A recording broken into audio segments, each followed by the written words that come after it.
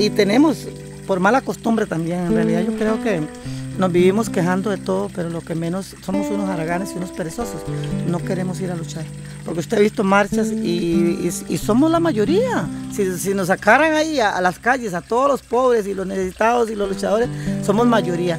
Pero aparte que el gobierno hace su parte, porque ellos tienen, bueno, tienen todos los medios de comunicación que le enfocan a la gente lo que ellos quieren que la gente vea y no la realidad Aparte de eso, somos muy conformistas. Metidos en la casa queremos que se nos resuelvan las cosas, pero no nos tiramos a las calles a luchar por nuestros derechos. Apostar a que las mujeres se despierten, que las mujeres se den cuenta de que, hay problemas y que no es solo a unas cuantas a las que afecta, sino que es a todas. Todas nos vemos afectadas cuando tenemos agua contaminada, cuando nos están patentizando las semillas, cuando están eh, vendiendo la tierra, a transnacionales.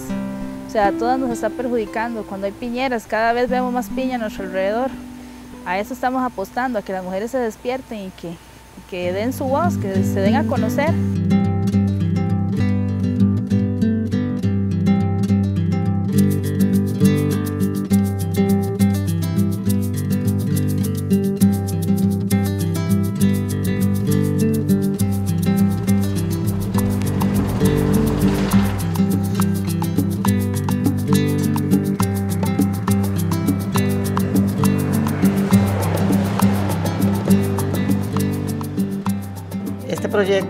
Están las compañeras de Pavón de los Chiles y, este, y nosotras.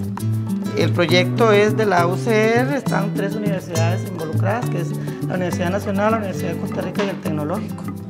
Varios puntos pendientes, bueno, ustedes plantearán los, los puntos que quieran que veamos. Este, yo quería proponer, bueno, por un lado, seguimiento de la panadería.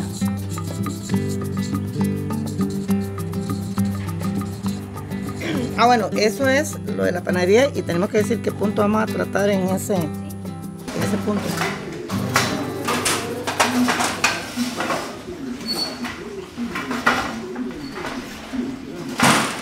La situación financiera. Ah, en, todo, bueno, pongámoslo financiero, las deudas y el problema de las mujeres, que hay muchas quieren desertar, de irse porque estamos todavía en Jaranas y aquí no hay todavía no tenemos ingresos y busca de mercado.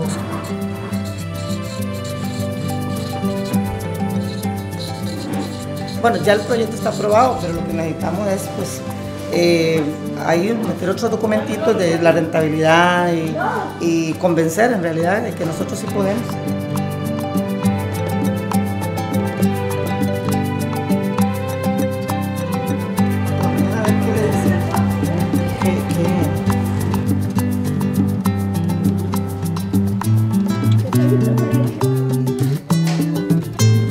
Laura, que, que, va a hacer unos bocadillos para esto. Ella para querer traer las bolsas, entonces dejamos esto para hacerlo ahorita en rato. El principal aprendizaje es la unión, el trabajar en equipo, que somos compañeras que muchos nos identificamos por, por lo socioeconómico, que somos mujeres, aunque tenemos algunas jóvenes, pero también somos otras que somos mayores.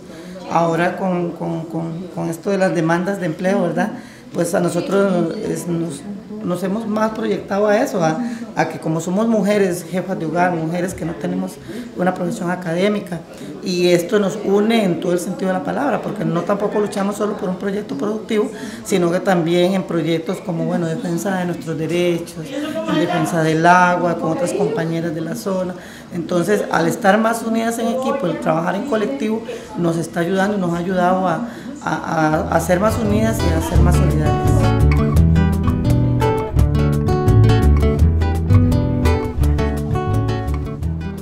Sí, porque es la representante legal de, la... Si están pidiendo personería jurídica, ¿está hablando? yo creo que es aquí, donde está que firmar, ¿ve? Ve, aquí hay una de Laura, de las viejas, pues no vamos a esto. Tenemos la empresa, pero no la tenemos libre, entonces es duro de estar viniendo acá, dejar nuestros quehaceres de la casa, y no podemos ir a buscar un trabajito porque de ahí tenemos que cumplir acá. Pues es duro, en realidad sí es duro, pero de ahí, vamos en la lucha de que, de que nos, va a, nos va a salir el sol, ¿verdad?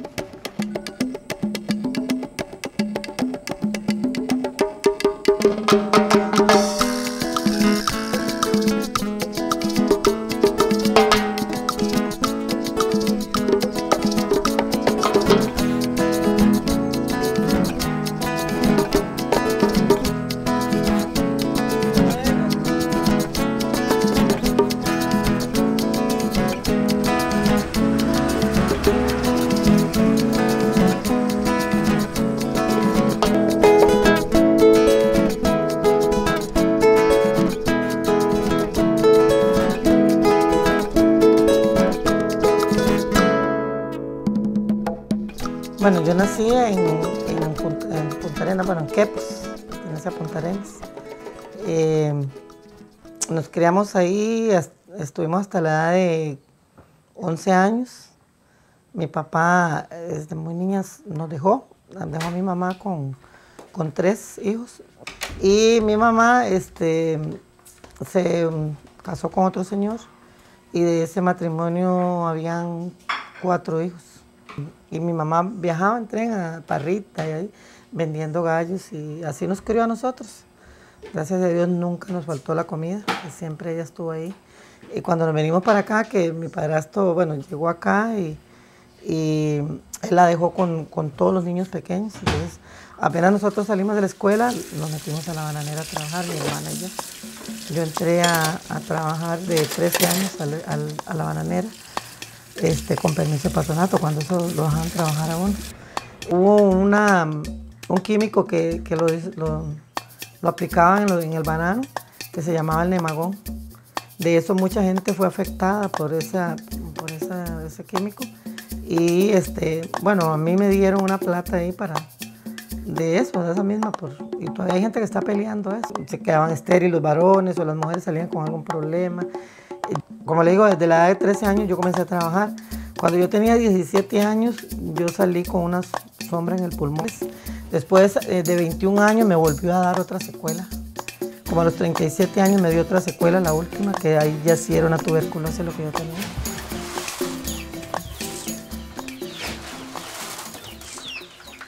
En la mañana, cuando la saco al gallinero, y en la tarde, en la, sí les echo un poquillo, no mucho porque si no se me engordan y no ponen.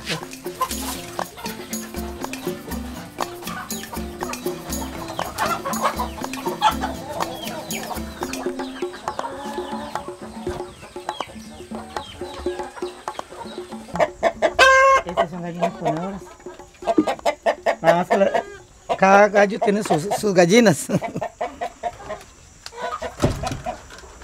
y estas sí que son pollas, entonces no ocupan gallo. Este es el gallo de estas y es otro gallo.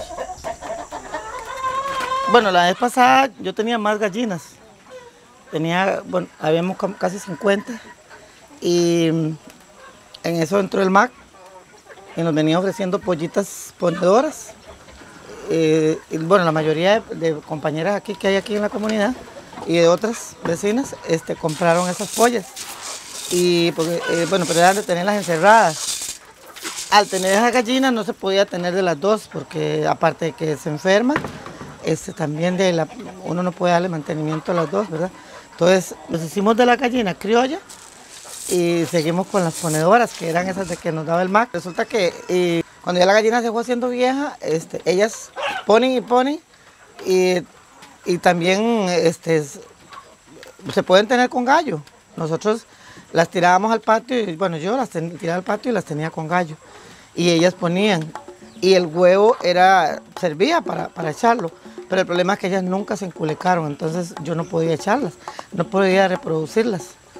Y este, hasta que un día un señor que, de la universidad que nos vino a dar una, una charla y nos dijo que, que, era mejor la gallina casera y era de lógico porque la polla esa en el momento, la gallina en el momento que ya cumplía su ciclo de, poner, había que quitarla y volver a comprar otra vez pollas para volver a tener la producción.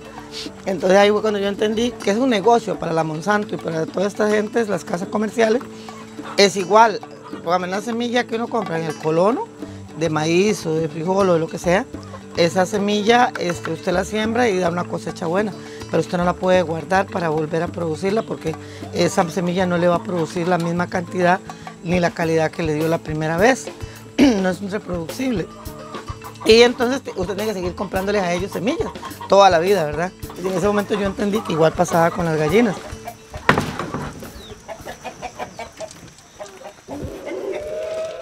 Te comentaba en veces con las mujeres de que uno cree que ya lo sabe todo y que uno lo, lo, lo, tiene todo.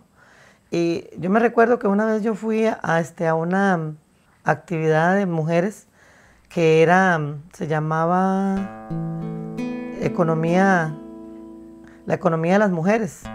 Y cuando comenzaron a hablar del tema, yo decía, en realidad, bueno, los derechos de las mujeres, que las mujeres no tenían acceso a tierra, que las mujeres, los hombres las golpeaban, que, las, que no las dejaban salir y que montones de cosas. Entonces yo decía, pero ¿por qué yo estoy aquí?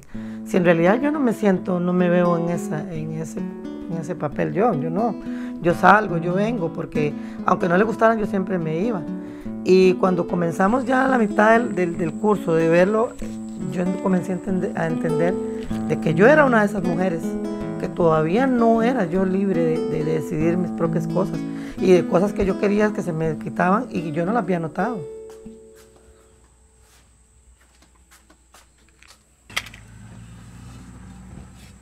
Este es el biodigestor, esto es un tanque el cual está lleno de, gas que viene del, del, excremento de los cerdos.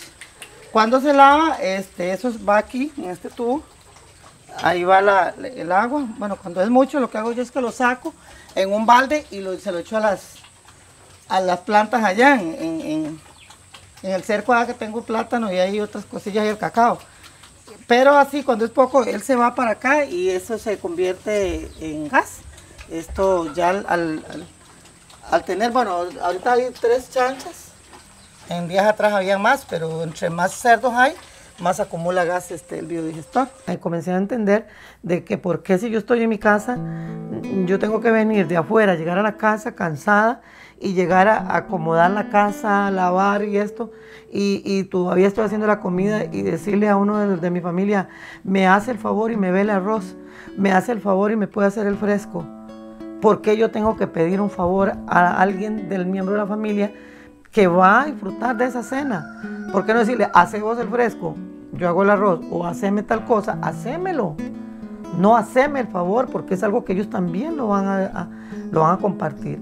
Entonces, cuando yo entendí eso, de que todavía yo estaba en una situación en la cual no era libre del todo porque yo estaba esclavizada para poder irme yo para San José, yo tenía tres días antes que comenzar a lavar toda la ropa para no dejar un trapo sucio. Comenzar a planchar porque si mi marido tenía que ir cuatro días a Guapiles o a algún lado, yo tenía que dejarle las cuatro camisas aplanchadas y los cuatro pantalones ahí guindando.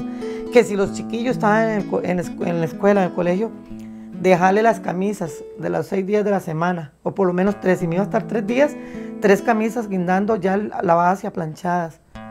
Que las gallinas, bueno, vea, y, estar en San José y decirle, vea, véame la gallina que está sacando pollo, que cuidado, que me recojan los huevos porque si no los, se empollan que vea y cuando venía que el pato muerto, que la, una gallina no aparecía, todas esas cosas en las cuales uno anda en actividades y no está tranquilo.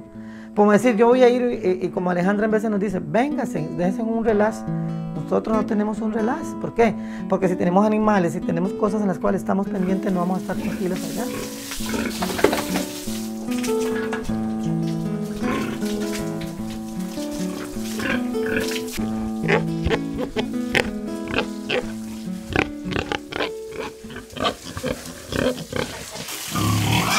Las mujeres, de el querer, el querer, o algunas porque todavía están con esa convicción de que, de que la mujer nacimos para estar en la casa y, esperando que el marido nos lleve la comida, nada Porque si, ¿qué remedio yo con estar metida en mi casa por complacer a mis hijos, a mi esposo? Yo no me siento bien.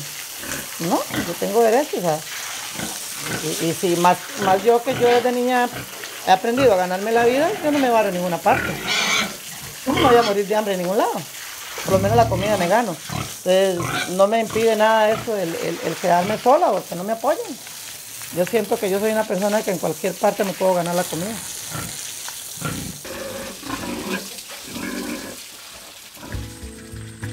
Para el TLC uno le duele todavía cuando oye personas a estas alturas señoras que usted les pregunta y usted les dice, es que con lo del TLC nos van a privatizar tal cosa o, vamos a perder tal cosa y le dicen, pero a mí nunca me dijeron que eso era.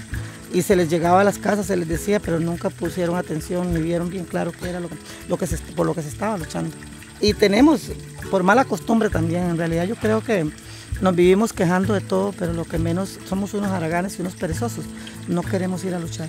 Porque usted ha visto marchas y, somos la mayoría. Si, nos sacaran ahí a, las calles, a todos los pobres y los necesitados y los luchadores, somos mayoría. Pero aparte que el gobierno hace su parte, porque ellos tienen, bueno, tienen todos los medios de comunicación que le enfocan a la gente lo que ellos quieren que la gente vea y no la realidad Aparte de eso, somos muy conformistas. Metidos en la casa queremos que se nos resuelvan las cosas, pero no nos tiramos a las calles a luchar por nuestros derechos, que son nuestros. Ahí hay, esas son lechugas, allá tengo apio, este es culantro, aquí tengo unas matitas de chile, hay como 10 matitas de chile, chile del grande. Eh, culantro coyote. ¿En qué favorecen las mujeres campesinas en las luchas a las mujeres del Valle Central? De, es que también las del Valle Central tienen que entender que si eh, apoyan a las mujeres del campo, pues imagínense que nosotros somos las que llevamos esas verduras, esas legumbres, esos granos básicos a la mesa ya. Porque si todos nos ponemos a vivir como se vive en el Valle Central, o a vender nuestra tierra, o aquí a, hacer, eh, no luchar por la tierra, sino que vivir de, de, lo que ganamos en una bananera o una piñera, vamos a tener que que nos manden de China, de Europa, ya el arroz, los frijoles y todo. No sabemos ni qué estamos comiendo, de a dónde viene, ni nada. Entonces estamos perdiendo nuestra cultura, perdiendo toda la semilla y todos nuestros valores. Entonces yo creo que eso es, por eso me siento orgullosa de ser campesina, que yo sé lo que como y lo siembro y lo cosecho y, se y lo llevo a mi mesa sabiendo lo que como y que le puedo dar a otros sabiendo lo que le estoy dando. Usted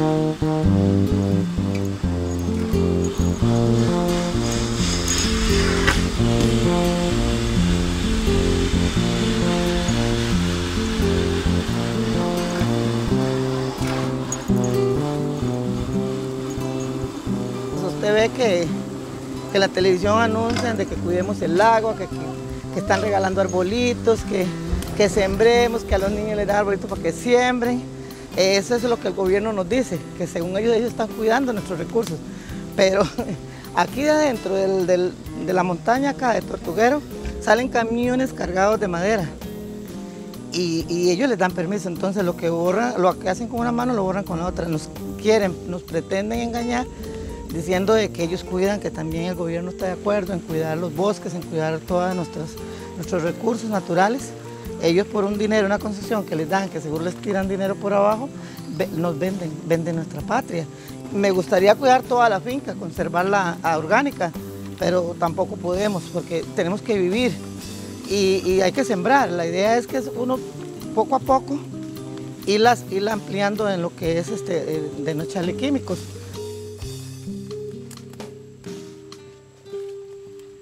Yo digo que la mujer este, siempre piensa en la familia.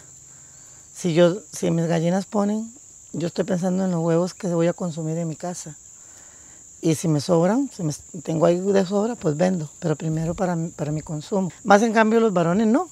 Ellos nunca están pendientes de qué hace falta o para qué, y es lo que les interesa la plata en la bolsa. Entonces, ellos saben que como cultivo, de ahí son ocho meses, pero se están echando una plata a la bolsa. Nosotros no pensamos igual. Esto es un, son monocultivos, esto es de mi esposo. Estos son, bueno, hectárea y media de ñame y hay dos hectáreas de yuca, que son monocultivos. Estos tienen químicos y, ya es la, la, producción de él, ¿verdad? Sí allá todo aquello, bueno, esto va dando vuelta acá, es una quebradita, la quebradita que viene ahí, y como les decía, este, ese es el bosque que está protegiendo la quebrada. Bueno, la protege de que no se seque, porque en realidad si, si vemos la quebrada pasa por la bananera, ya esa quebrada viene contaminada, esa agua está contaminada, la toman los animales, pero de hecho yo para, para regar allá yo no la uso se usa para regar acá porque de ahí esto tiene químicos, no hay problema. Pero yo de esa, de esa agua no uso para los productos de allá que son orgánicos porque esa, esa, esa agua está, viene contaminada ya de, la, de, de la bananera. Ahora tengo 55 años, voy a cumplir, y el saber de que no puedo optar por una pensión todavía. Las, eso de las cuotas que a uno se las quitaban no aparecen. Entonces, ya, la verdad es que lo explotan a uno es algo que los, les saca, lo explota, les saca la plata, eh, las fuerzas y a, la, a resumidas cuentas yo de la bananera no tengo nada. Si usted en este momento me pregunta, ¿usted hizo una finca, construyó algo? No. porque es un salario también mísero que es apenas como para ir medio viviendo. Entonces no le queda a uno nada. Hace uno más bien con un terrenito algo porque por lo menos usted vive sanamente, vive en lo suyo, en lo propio y, y no está dándole sus fuerzas a nadie más. Entonces siento que para mí las bananeras y las piñeras, aunque ese concepto no se lo tienen los que dependen de eso, pero yo creo que uno debe luchar. Este, a mí me decía un cuñado mío, pero Julia, si las bananeras y las piñeras se van, ¿de qué vamos a vivir? Y yo le decía, y hace 25, 30 años, ¿de qué vivía? ¿Acaso que se murió de hambre? No se murió de hambre y no nos vamos a morir. Si nos dan tierra, podemos sembrar lo que nos comemos. Igual. Y yo le digo, ¿qué hace usted con el, sueldo de la piñera y la bananera? Usted se está haciendo millonario, la está guardando en el banco. Apenas es que le sale como para pagar, para vivir. Igual puede vivir. No, se, no necesitamos la bananera y la piñera acá.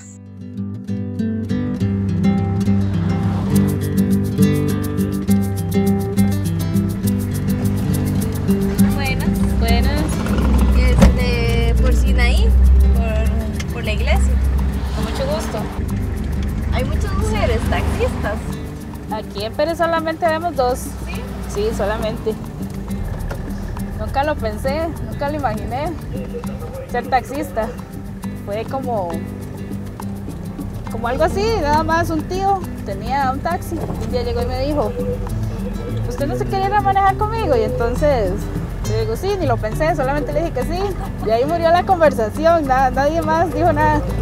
Cuando, como a los 15 días, me llama y me dice que ya me inscribió para el curso de transporte público y ya hice el curso, saqué la licencia, porque es una licencia, ¿verdad? Especial. Y lo llamé y le dije, ya tengo licencia. Entonces me dice, "Ay, no, mañana a las 6 de la mañana empiezo. Y así fue, ¿Cuánto fue? seis años. A mí este trabajo me gusta mucho, a mí me encanta, el ser taxista me encanta. Y pues también me, me da la mano, ¿verdad? Con unos ingresos económicos, pues mejor todavía. Pero fue muy difícil, al principio fue muy difícil porque a pesar de que en ese tiempo trabajaban dos muchachas, o sea, nadie me aceptaba por ser mujer, ¿verdad? Los compañeros, los taxistas eran como, como celosos, así como me veían y no, no, como que no, no era nada que ver. Yo no pertenecía al gremio. Y ya después la gente, digamos, los clientes, era muy complicado también porque lo veían y decían, uy, una mujer taxista, y se iban al detrás.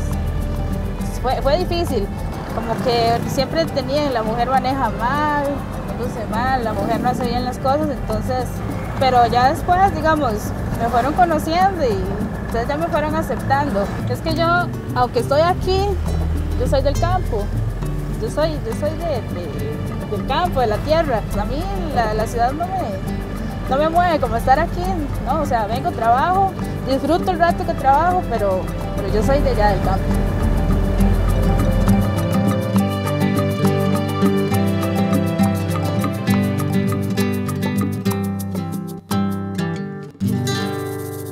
Y nací, pasé toda mi infancia, soy hija única, sí, no tengo hermanos, entonces era como eso de, de jugar con mis vecinitos, ¿verdad? Eh, yo creo que a uno lo enseñaron como a ser, como a ser grande desde pequeñito, ¿verdad? Me recuerdo que, por ejemplo, mi abuelo me dijo cuando yo tenía tres años, eso me recuerdo bien, me dice, la mujer que no sabe moler, no es mujer. Mi abuela me enseñó a hacer tortillas de maíz. Sí. Después, este, mi abuela me dijo, tiene que aprender a ordeñar, para que sea una gran mujer. Y había una vaquita pequeñita, me recuerdo que se llamaba como Pinta, algo así, pero era súper pequeña. Y mi abuela me sentaba en sus piernas y me decía, así se ordeña, y yo empezaba. Y ahí fue como yo aprendí. Es que ha sido como toda la vida, digamos. No es como decir, ah, de los 3 a los 5 ordeñé vacas y de los 5 a los 6, no, sino ha sido toda la vida. Por ejemplo, la familia de, de mi papá es, bueno, las dos familias son muy trabajadoras, ¿verdad?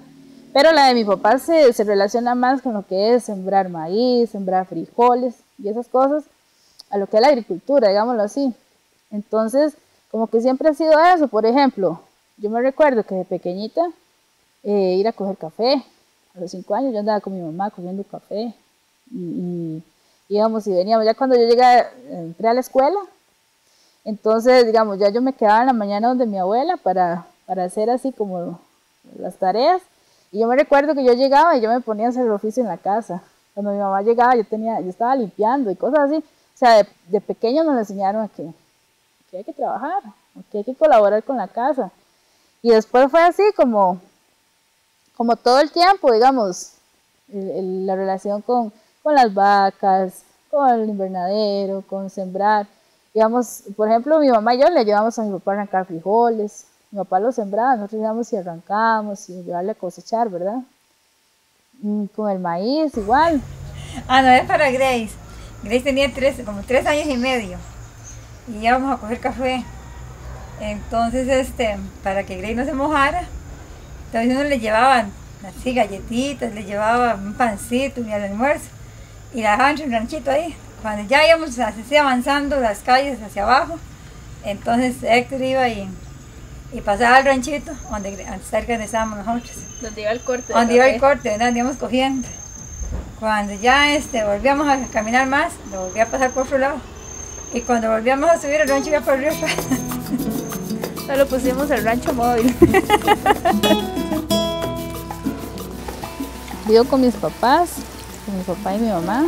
Somos como nosotros tres. Por ejemplo, cuando estamos en la casa, eh, tratamos de comer juntos, de, o desayunar juntos. Eh, Yo siento que eso nos, nos llena de energía, ¿verdad? Pasar juntos. Luego, por ejemplo, si mi papá va al campo, eh, mi mamá casi siempre lo acompaña, ella siempre va con él. O si tienen que ir a revisar alguna vaca que va a parir o alguna cosa, eh, mi mamá siempre lo está acompañando.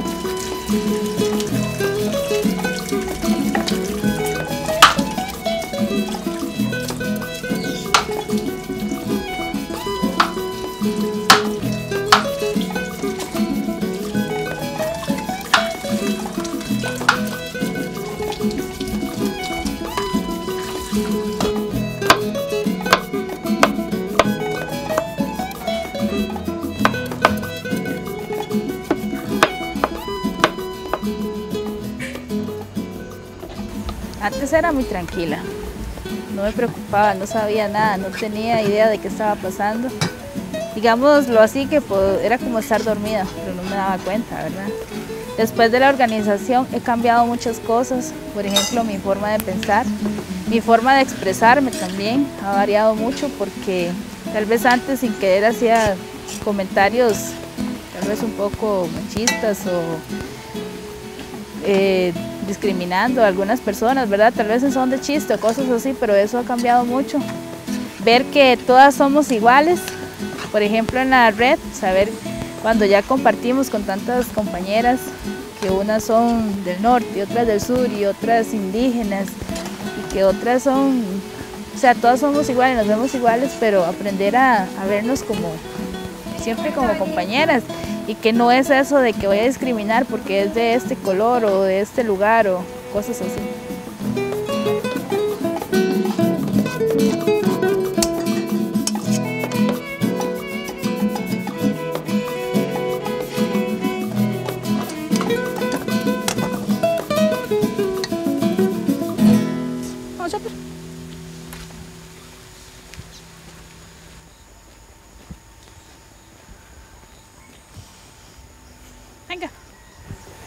Se cansó. Apostar a que las mujeres se despierten y que las mujeres se den cuenta de que, de que hay problemas y que no es solo a unas cuantas a las que afecta, sino que es a todas. Todas nos vemos afectadas cuando tenemos agua contaminada, cuando nos están patentizando las semillas, cuando están eh, vendiendo la tierra a transnacionales. O sea, a todas nos está perjudicando. Cuando hay piñeras, cada vez vemos más piña a nuestro alrededor. A eso estamos apostando, a que las mujeres se despierten y que, que den su voz, que se den a conocer y que digan lo que están pensando y que, que defiendan lo que es suyo, sus derechos. Ay, mis satisfacciones, llegar y ver mi invernadero con todo sembradito, ver ese maíz ahí, que ya casi van a ver elotes y saber que es de nuestro esfuerzo, de nuestra semilla, de nuestro abono. Sarita, mi lucha, pues siempre la soberanía alimentaria, ¿verdad? Porque el sembrar, es tan bonito ver lo que yo tengo sembrado aquí, saber que yo me voy a comer algo sano, pero mi lucha va también en el empoderamiento de las mujeres. Desde pequeñita yo siento que yo he pensado que tenía que romper eso que decían de que ser hija única era esa que nunca salía, que no hacía nada, que, que estaba siempre ahí como en la falda de la mamá, ¿verdad? Entonces yo siempre he luchado contra eso y he tratado de ser rebelde con eso. Ahora que yo estoy, que participo en la red, digamos, esa es como con lo que más me identifico, el empoderamiento de las mujeres, que no dependan tanto de que si un hombre las deja salir o no las deja salir, o que dependan de, de alguien para ir y venir, sino que tomen sus propias decisiones, saber decidir sobre lo que se quieren poner, lo que se quieren comer, lo que quieren decir, cómo hablar, qué hacer. No, no sea alguien que les tenga que decir, sino que sean ellas mismas las que decidan. Remolacha, culantro, apio.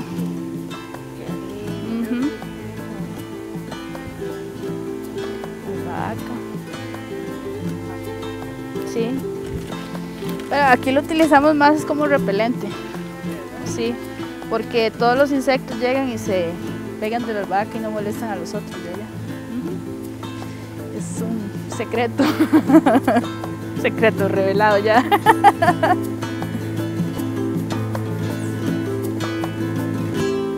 yo llegué a la red, me di cuenta de lo que estaba pasando con las semillas y que nos están vendiendo semillas que, que no sirven solo para un ratito y que ya después se van a, a dañar y cada vez nos están engañando más con eso de los transgénicos, ¿verdad? Entonces, aquí, por ejemplo, en, en nosotros en la casa, la mantenemos y mantenemos la semilla criolla, entonces cada vez que recogemos la cosecha, buscamos los mejores granos y los guardamos para luego volver a sembrar. Yo siento que ahor- ahorita, o sea, ya con, con el proceso que yo he llevado a través de la red, o sea, me siento orgullosa, me siento muy dichosa, digámoslo así, de tener esta tierra porque yo sé que le vamos a dar un buen uso. La estamos cuidando, la estamos pues aprovechando, pero yo sé que nadie la va a venir a, malgastar o la va a venir a hacer inversiones diferentes. Por ejemplo, aquí a mi papá le han ofrecido comprar montones de veces y él nunca ha querido vender, ¿verdad? Porque que esto no, esto es de, es como nuestro patrimonio y lo cuidamos, digamos, lo apreciamos.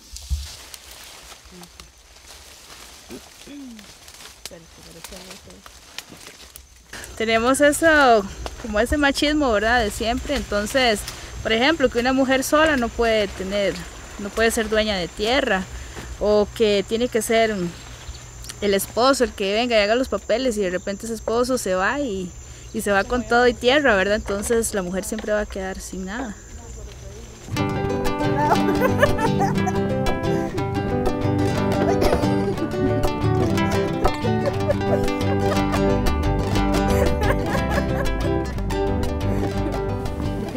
poquito antes las mujeres del campo pensaban más como en, como en su familia y cómo salir adelante y trabajando, ¿verdad? Y las mujeres de la ciudad pues es un poco más sofisticado y que la elegancia y que el pelo y que cosas así, ¿verdad? Ahora ya hay mucha similitud en realidad porque aquí, por ejemplo, en Mollejones, ya como que se ha metido mucho eso, como que la ciudad viene, como que se viene metiendo, por decirlo de alguna manera. Entonces, ya se trata de cambiar un poco la historia, ya no es como antes, como la tierra y todo, sino que ya ahora es como más, cosas como más superficiales, ¿verdad? Me gusta esto. Ay. Conmigo.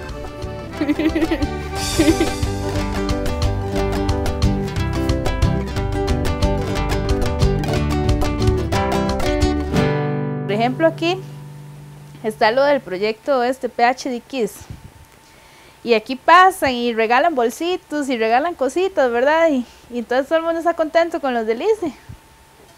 Al menos el ICE se quiso involucrar una vez en uno de los, de los este, festivales ambientales. Y él vino y regaló cositas y todo. Entonces pero ¿cómo? No son tan malos y regalan cosas, ¿verdad? Entonces es aprender a tener esa malicia. Yo pienso que, que no, todavía no tenemos esa malicia de, de ver que no todo lo que está a nuestro alrededor es bueno. Y que detrás de todo eso siempre hay alguien que está interesado, hay, hay intereses de por medio, ¿verdad? A mí siempre, al menos a veces hasta las mismas compañeras se ponen celosillas, porque yo voy y vengo y eso, ¿verdad? Tal vez como que lo ven a uno que anda mucho en la calle, es que dice, es que ya no pasa en la casa o, o cosas así, ¿verdad?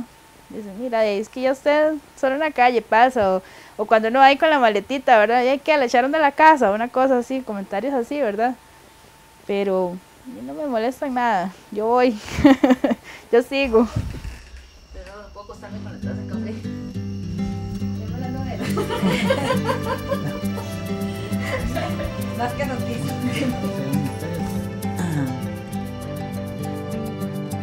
Sí, a veces uno, una tiene como, como ese mundo construido, ¿verdad? Y de repente se derrumbó todo.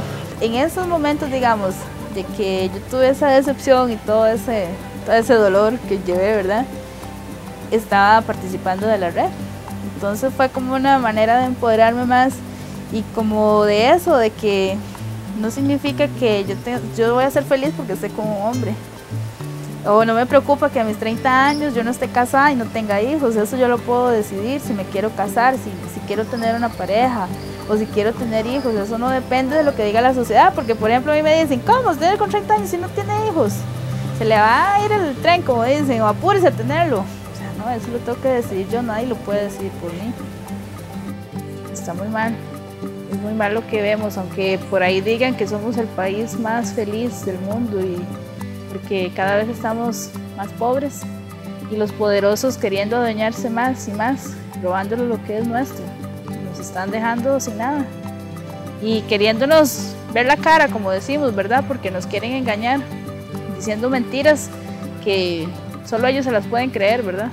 Y saber que, que tenemos que defender siempre lo nuestro.